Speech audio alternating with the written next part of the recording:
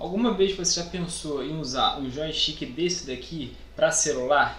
Se você já pensou sobre ele e tem algum tipo de dúvida, vem com caixa. Fala aí, jovens boas! Aqui é o Caixa e hoje nós vamos falar ó, sobre esse cara aqui, joystick para Android, galera. Para Android não, joystick para celular. Assim, esse modelo como eu tenho aqui, existem vários modelos semelhantes a esse modelo aqui. Eu vou contar para vocês um pouco da experiência que eu tive e como que configura ele em qualquer jogo que você queira jogar, mesmo que o jogo não tenha compatibilidade. Bom, a primeira coisa que eu posso falar sobre ele, a primeira dica que eu posso dar se você está ou não pensando em comprar um joystick de Android, um joystick para celular e está pensando no custo-benefício, qual é a melhor marca, algum tipo de dica, a primeira dica que eu dou para vocês é o seguinte: existe uns modelos de joystick que o analógico dele é um disquinho que fica deslizante, igual o do Nintendo 3DS. Esses joysticks, aquela borrachinha com o tempo ela solta. O que eu aconselho vocês a comprar é esse modelo aqui que tem uma alavanca semelhante a esse modelo aqui, ó. Parece muito o modelo do joystick tradicional de videogame de console, né? Na verdade, esse modelo aqui que eu tenho é o modelo da marca Ipega. Ele tem essa alavanca aqui, ó, como se fosse um botão mesmo. Ela tem vários outros modelos. Você consegue prender o celular aqui na parte de cima, esse é um modelo bem completo, você tem os gatilhos aqui, gatilhos aqui embaixo, ele é confortável, pega bem na mão, o celular fica direitinho aqui em cima e você não consegue controlar as músicas os volumes por aqui, entrada de carregador, é um modelo de joystick muito bom, o custo-benefício dele é muito legal, eu recomendo. O que, que acontece com o joystick? Para um jogo funcionar no joystick para celular, o desenvolvedor tem que fazer a função para ele funcionar. Ou seja, não vão ser todos os jogos que vão estar tá funcionando com o joystick. Só que vocês sabem que o caixa sempre tem um jeitinho para tudo, né? Tem um aplicativo que você vai usar no teu celular Android que ele vai fazer, que ele vai simular o botão do joystick com o toque na tela. E aí você vai poder configurar ele em qualquer jogo que você queira jogar. Então, por mais que o jogo não venha com essas configurações, você vai poder usar esse aplicativo e usar ele em qualquer jogo, seja um jogo que tenha ou não disponibilidade para isso. E isso que eu vou te mostrar agora. Bom, voltando aqui para o celular, a primeira coisa que nós vamos fazer, eu vou mostrar para vocês como é o pareamento. É muito tranquilo. Eu vou abrir o Bluetooth aqui do meu telefone, vou ativar e vou botar aqui nas configurações. Chegando aqui, eu vou apertar o botão do meio e vou segurar que ele vai começar a piscar. Ó, ele já apareceu ali, ó, e pega. Eu clico para ele conectar, eu vou esperar um pouquinho e ele já vai estar tá se conectando já Ó, já está conectado. Se eu apertar o B, no caso do Xbox, equivalente ao B, ou do PlayStation equivalente à bolinha, ele já volta. Eu já consigo navegar entre os aplicativos usando o analógico. Tá vendo?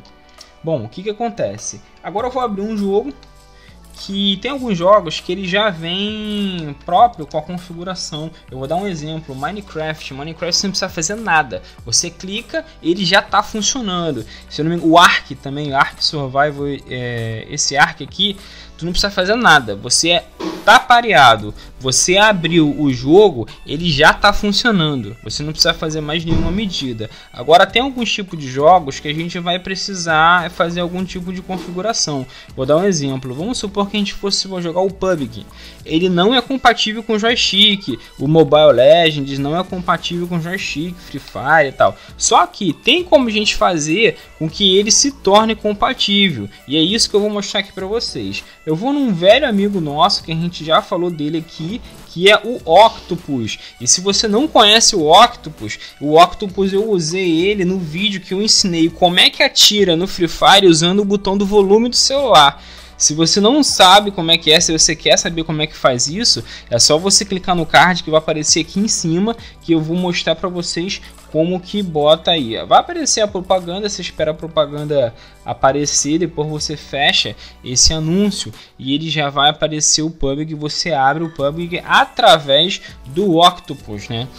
Bom, beleza. Agora o PUBG já está iniciando. Você está vendo que na tela já está aparecendo um caminhão de botões ali que são estoques na tela. Daí eu vou mostrar, eu vou esperar aparecer o lobby ali para mostrar para vocês como que funciona a configuração, como que a gente vai mexer na configuração e vou mostrar para vocês funcionando. E lembrando, galera, que esse é um modelo só, existem vários outros modelos e vários outros jogos que já são compatíveis, que você não vai precisar do Octopus para jogar. Mas caso você esteja pensando em adquirir ali, comprar um, um joystick para Android, isso é fácil de você conseguir. Eu vou logar aqui. Bom, então vamos lá. Eu tô aqui no PUBG, no PUBG Mobile. Eu vou fazer aí você com o jogo aberto, você vai no, no, no símbolozinho do polvo ali em cima, tá vendo que agora aparece coisas que não apareciam antes? Agora tá aparecendo esse joystickzinho ali, ó, o primeiro ícone. Quando você clica tem teclado ou gamepad. Aí você pode pensar assim, teclado, caixa, como assim? Dá para jogar o PUBG Mobile e Free Fire com teclado e mouse? Dá sim, jovem padawan. Eu já ensinei como é que faz isso usando o seu celular para jogar de teclado e mouse. Se você quiser saber como é que faz, clica no card que vai aparecer aqui em cima. Bom, beleza. Então ele já está com um gamepad aqui, né? Daí eu posso dar o, o OK. Ele já vem com uma pré-configuração. E para testar essa pré-configuração, eu vou botar a partida de treino aqui, que tem como a gente fazer uma partida de treino. Eu vou mostrar para vocês aqui ele já funcionando. Tipo, basicamente é só você apertar, como mostrei aqui, esse botão aqui em cima. Como apareceu o gamepad, você vai e dá o visto aqui, clica no botão de visto. É só isso que você precisa fazer para ele já estar tá configurado. É basicamente só isso. Então aqui, ó, o meu boneco, ele já tá andando com o joystick, tá vendo? Eu já consigo andar. Daqui ele já vai, deixa eu chegar perto de uma arma aqui. Onde tem as armas... Uh... aqui são as munições, a arma é lá atrás. Eu já tô conseguindo andar aqui com o meu bonequinho. Não, não quero o crossbow não. A W, não, não. Eu quero a... Deixa eu ver qual que eu quero aqui. Eu quero essa daqui. Beleza.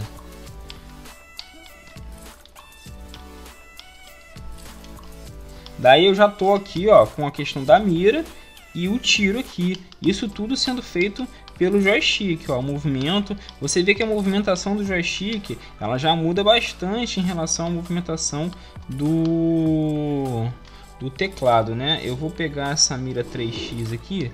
Vamos lá. Olha lá. Você vê que a mira já tá bem mira de mira de de joystick, né? Daí, galera, basicamente é isso que você precisa fazer para você configurar, por exemplo, seu joystick para jogar qualquer tipo de jogo. Você vê que conforme eu estou movimentando, ó, aparece qual o movimento que eu estou fazendo ali com, com, o gamepad ali, né? O que, que eu vou fazer. E se você quiser mudar alguma configuração, basta você acessar o íconezinho do polvo, que ele vai aparecer o que, que cada botão está fazendo, daí você arrasta os botões para a posição que você quer. Clica em cima dele e arrasta. É bem tranquilo de você fazer as configurações. E basicamente é isso, ele já está configurado, é só você sair jogando. Eu não aconselho particularmente é você jogar jogos de tiro no, joystick. Eu acho ele, como posso dizer, eu acho um pouco complicado você jogar jogos de tiro. Eu aconselho jogar mais jogos de plataforma, né? E muitos jogos de plataforma, eles já vêm pré-configurados para você poder usar o teu joystick.